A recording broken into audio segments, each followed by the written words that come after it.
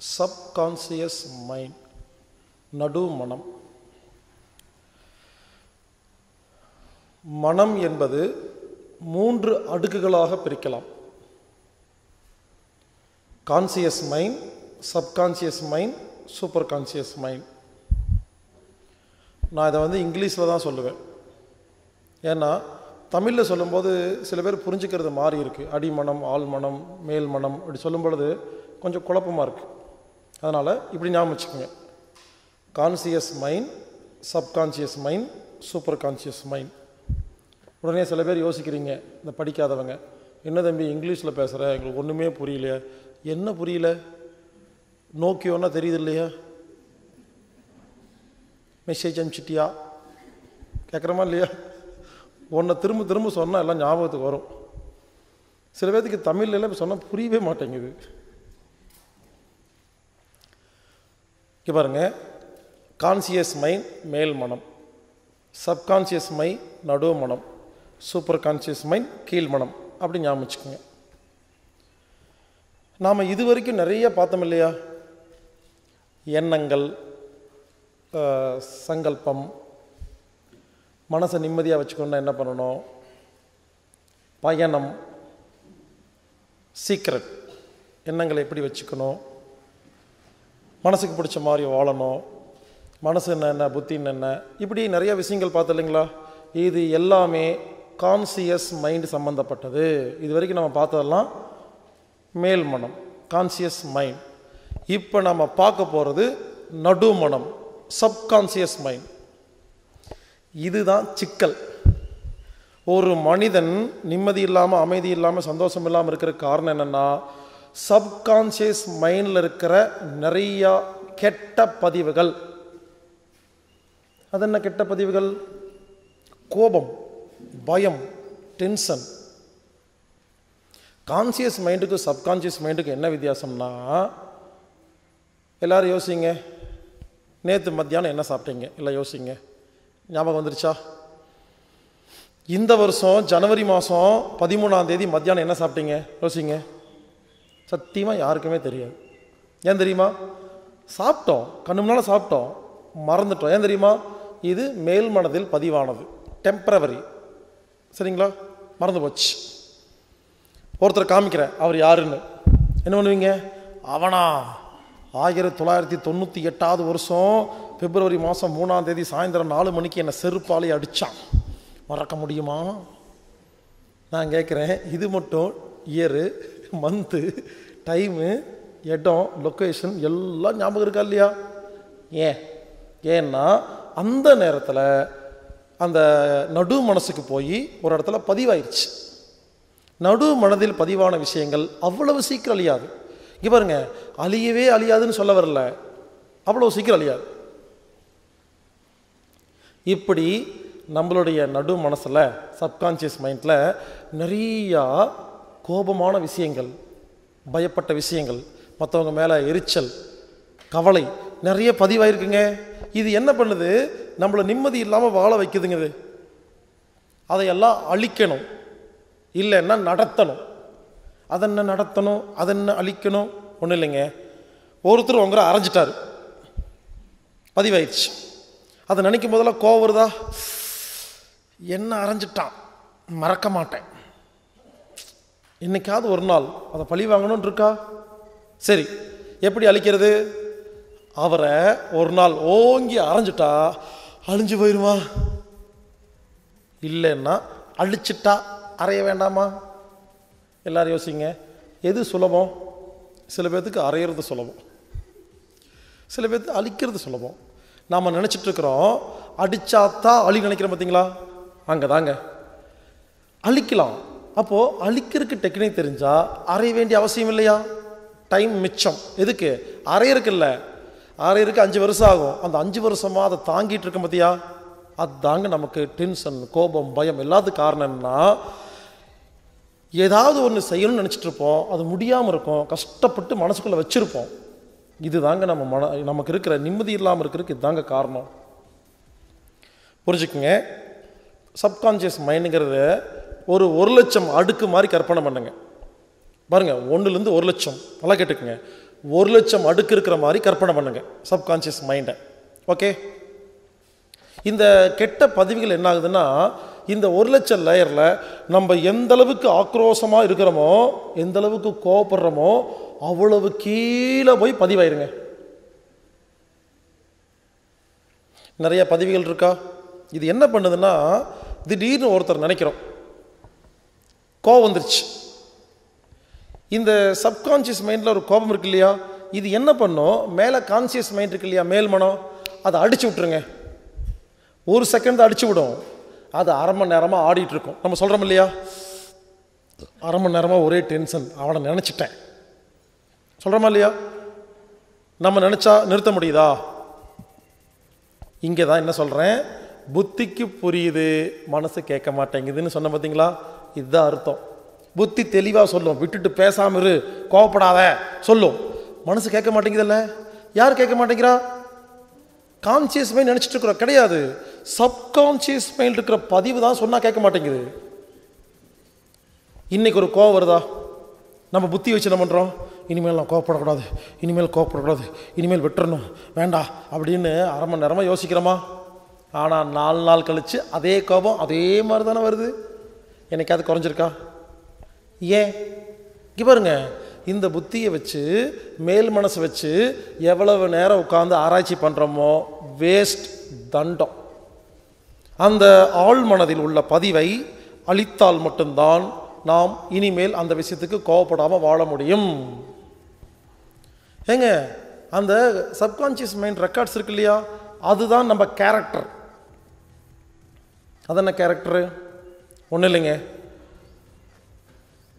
நானும் ஒபாமாவும் ஃப்ரெண்டுன்னு வச்சுக்கோங்களேன். ம் நானும் ஒபாமாவும் ஃப்ரெண்டு ஒரு வீட்டில் இருக்கிறோம். கிளாஸ்மேட்டு நான் ஒரு செல்ஃபோன் வச்சுருக்கேன் ஐஃபோன் ரெண்டு பேரும் ஒன்றா இருக்கிறோம். திடீர்னு என்னோடய ஐஃபோன் காணாமல் போச்சு. செல்ஃபோன் காணாமல் போச்சு. நான் தேடுறேன் இங்கே தேடுறேன் அங்கே தேடுறேன் இங்கே தேடுறேன். இந்த ஒபாமா மேலே எனக்கு டவுட்டே வரல. ஏன்னா கூட இருக்கிற ஃப்ரெண்டு உயிர் நண்பன். ச- சந்தேகமே வரல. நான் தேட்டு இருக்கும்போது ஒபாமா சொல்கிறான் இங்கே பாரு செல்ஃபோன் காணாம போச்சல்ல. எனக்கு என்னமோ சதாம் ஹுசேன் மேலே சந்தேகமாக இருக்குது ஏன்னா சதாம் ஹுசேன் இன்னொரு ஃப்ரெண்டு அவர் நடுவில் வந்துட்டு போனார். எனக்கு என்னமோ சதாம் ஹுசேன் மேலே சந்தேகமாக இருக்குது அவன் தான் வந்து எடுத்துகிட்டு போயிருப்பான்னு. உடனே என்னாச்சு எனக்கு? சதாம் ஹுசேன் மேலே ஒரு ரெக்கார்டு கிரியேட் ஆகுது. திருட்டு பையன். வந்து திருடிட்டு போயிருக்கிறான்னு இது வரைக்கும் சதாம் ஹுசேன் நான் பார்த்தேன்னா என்ன மச்சான் சாப்பிட்டியான்னு சந்தோஷமாக பேசுவேன். இனிமேல் பேசுவேனா அடுத்த நாள் சதாம் ஹுசேன் பார்க்குறேன். ஏன்டா செல்ஃபோனை திருடனியான்னு. அவன் இல்லைன்ட்டான். என்ன பண்ணுவேன்? இனிமேல் சதாம் ஹுசேன் ஒழுங்காக பேசுவேன். நாளைக்கு சதாம் நேரில் வந்து என்னன்னு கேட்டால் சாப்பிட்டியாங்க நான் சொல்லுவேன். சாப்பிட்டேன் சாப்பிட்டேன். ஏன்? என்னோட கேரக்டர் மாறி போச்சா? ஏன்? சதாம் ஹுசேன் ஒரு திருட்டு பையன் ஒரு ரெக்கார்டு கிரியேட் ஆயிடுச்சு இப்போ நான் சதாம் ஹுசேன்கிட்ட பேசும்பொழுது எண்ணங்கள் வார்த்தை செயல் எல்லாமே மாறுதா? மாற்றினது யார்? ஒரு சின்ன பதிவு. ரெண்டு வருஷத்துக்கு அப்புறம் ஒபாமா வீட்டுக்கு போகிறேன் ஒபாமா வீட்டுக்குள்ளே அவன் பேசிகிட்டு இருக்கிறான். அந்த பாஸ்கர் இருக்கானே பைத்தியக்கார பையன். கூடவே இருந்து ஐஃபோனை திருடினேன். அவனுக்கு தெரியவே இல்லைன்னு. எப்படி இருக்கு எனக்கு? அட சண்டாளா ஒபாமா நீயாடா திருட்டு பையன்? அப்படி என்னாகும்? இப்போ ரெக்கார்டு மாறுது. ஒபாமா திருட்டு பையன் சதாம் ஹுசேன் நல்லவன். மாறி போச்சா? இனிமேல் ஒபாமா கிட்ட வேற மாதிரி பேசுவேன். சதாம் ஹுசேனை பார்த்தனா கட்டி பிடிச்சிக்குவேன். மச்சான் சாப்பிட்டியாடான்னு. அவன் யோசிப்பான். என்னடா அவன் நடுவில் கொஞ்சம் பக்கத்தை காண மாதிரி ஆகி போட்டானே. நல்ல இது வரைக்கும் ஒழுங்காக பேசாமல் இருந்தால் ரெண்டு வருஷமா? திடீர்னு கட்டி பிடிச்சிக்கிறான் சாப்பிட்டியான்னு கேட்குறான் ஒன்றுமே புரியாது அவனுக்கு. புரிஞ்சுங்களா நமது கேரக்டர் ஒவ்வொரு நாளும் மாறுது ஒவ்வொரு செகண்டும் மாறுது. காரணம் பதிவுகள். உண்மையிலேங்க உங்களுக்கு எனக்கு என்ன வித்தியாசம் தெரியுமா? அந்த பதிவுகள் தான். மேல் மனசு எல்லாத்துக்கும் ஒன்று தாங்க இந்த சூப்பர் கான்சியஸ் மைண்ட் இருக்கு இல்லையா? அடிமனம் அதுவும் எல்லாத்துக்கும் ஒன்று தான் கீழ்மனம். அதை பற்றி அப்புறமா சொல்கிறேன் நல்லா கேட்டுக்குங்க. இந்த நடுமணம் மட்டும்தாங்க எல்லாத்துக்கும் வேறு. உங்கள் மனசில் இருக்க பதிவெல்லாம் எனக்கு போட்டுட்டிங்கன்னா நான் உங்களை மாதிரி பேசுவேன். நான் செய்கிற ஒவ்வொரு செயல் ஒவ்வொரு பேச்சு இருக்கு இல்லையா? எங்கிருந்து வருது? அந்த ரெக்கார்ட்ஸ்லேருந்து ஓப்பனாக வெளியே வருது.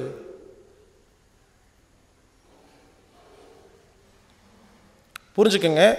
நமது வாழ்க்கை நிம்மதி இல்லாமல் இருக்கிறதுக்கு அடிப்படை காரணம் நடுமனதில் உள்ள கெட்ட பதிவுகள்.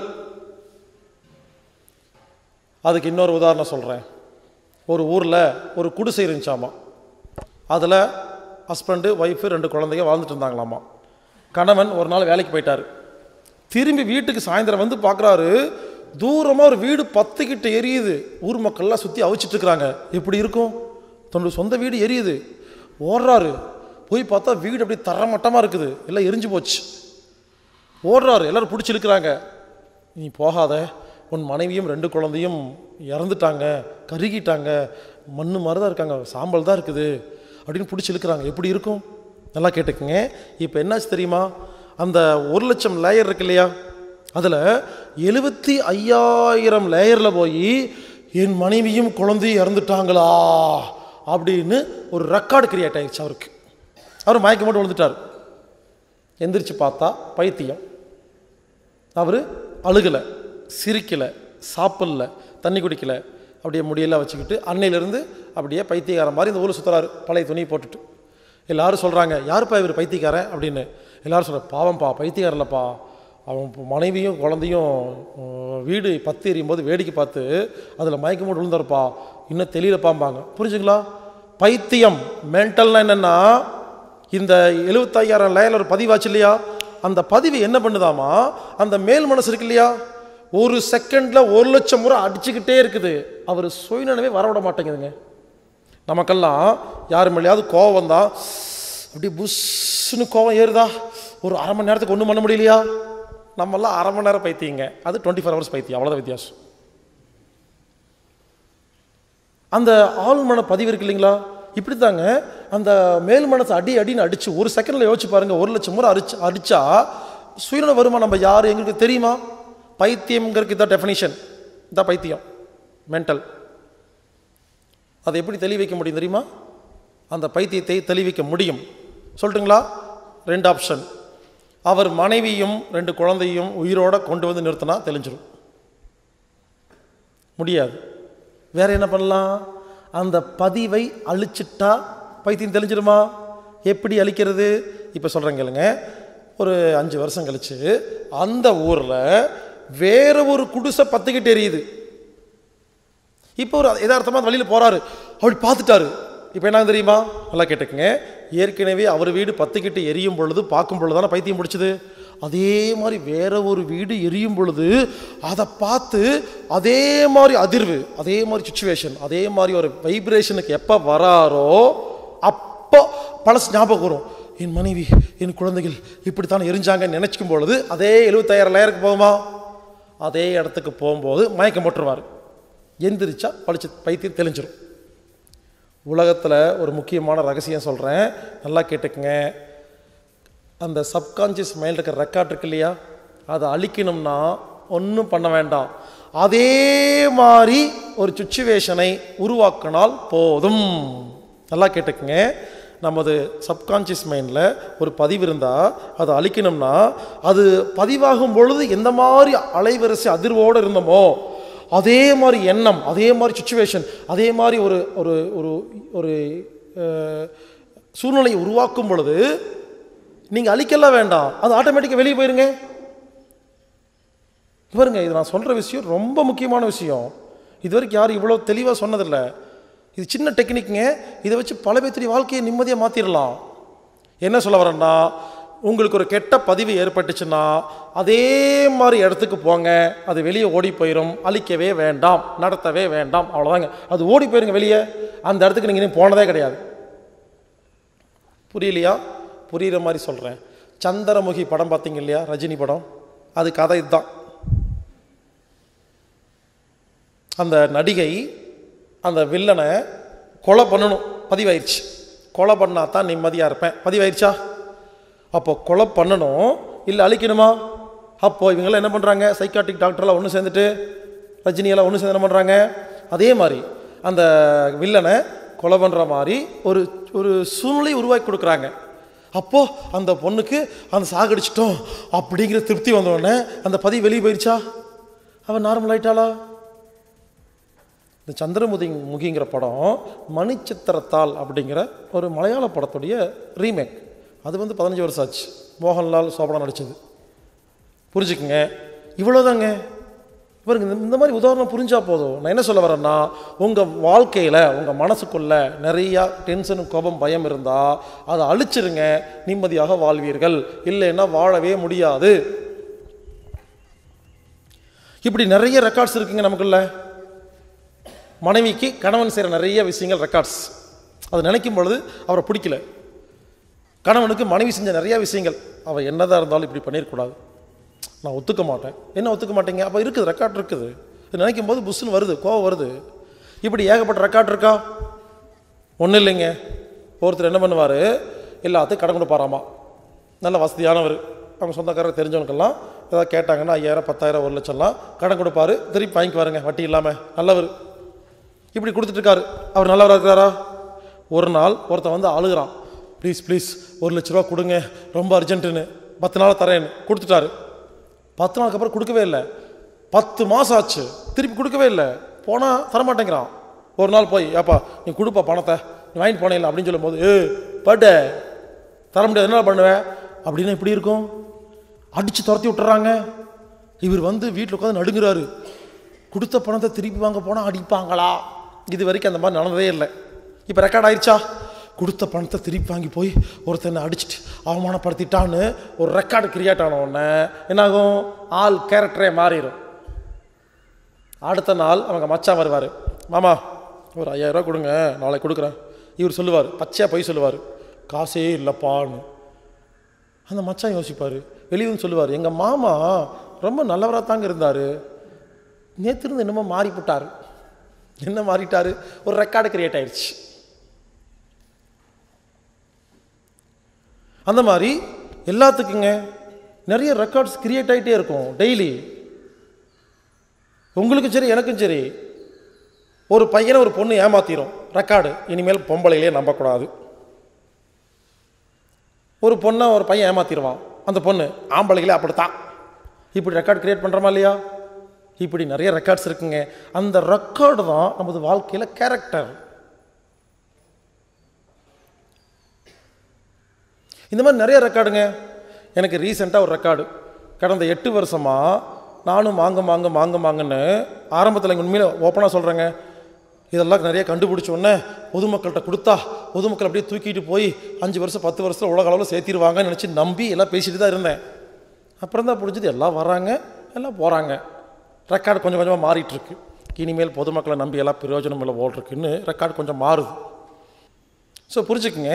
ரெக்கார்ட்ஸ் எல்லாமே ரெக்கார்ட்ஸ் ரொம்ப சிம்பிளாக சொல்கிறேங்க இந்த ரெக்கார்ட்ஸ் இருக்கிற வரைக்கும் நிம்மதியாக வாழ முடியாதுங்க. நீங்கள் யோசிங்க. உங்களுக்கு என்ன ரெக்கார்ட்ஸ் இருக்குது அம்மா மேலே அப்பா மேலே மனைவி குழந்தை பக்கத்து வீட்டுக்காரங்க தெரிஞ்சவங்க பார்ட்னர் ஃப்ரெண்ட்ஸ் ஏமாத்தினது பொய் சொன்னது அடித்தது அவமானப்படுத்தினது இதெல்லாம் இருக்கா இல்லையா? இதுதான் நாம் நிம்மதியாக இல்லாமல் வாழ்கிறதுக்கு அடிப்படை காரணம்.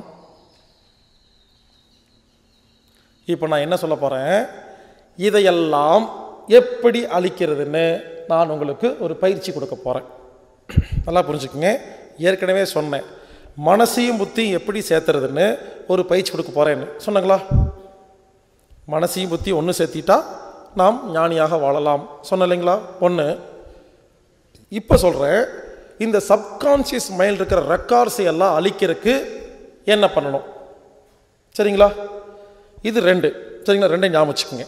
இப்போதைக்கு ஞாபகம் வச்சுக்கோங்க. அப்புறமா நான் பயிற்சி சொல்கிறேன் நல்லா மறுபடியும் ஞாபகம் வச்சுக்கோங்க.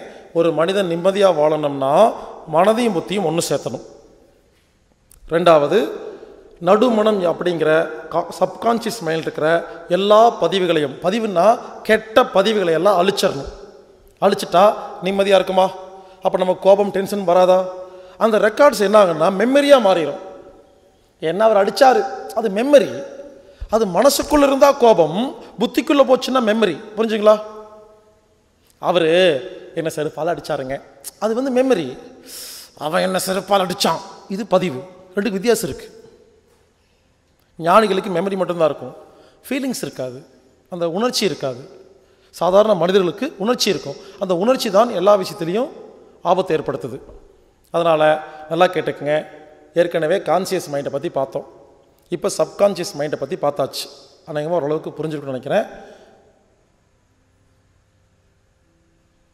அடுத்தது நம்ம சூப்பர் கான்ஷியஸ் மைண்டை பற்றி பார்த்துட்டு அதுக்கப்புறம் இந்த மனதை முத்தி ஒன்று சேர்த்துறது எப்படி சப்கான்ஷியமாக இருக்க ரெக்கார்ட்ஸில் அழிக்கிறது எப்படிங்கிறத நான் கடைசியாக கிளைமேக்ஸில் சொல்கிறேங்க இப்போதைக்கு சப்கான்ஷியஸ் மைண்ட் அப்படிங்கிற தலைப்பில் நாம் புரிஞ்சிருக்கிறோம். அவ்வளோதான் அடுத்த லெவல் போகலாங்க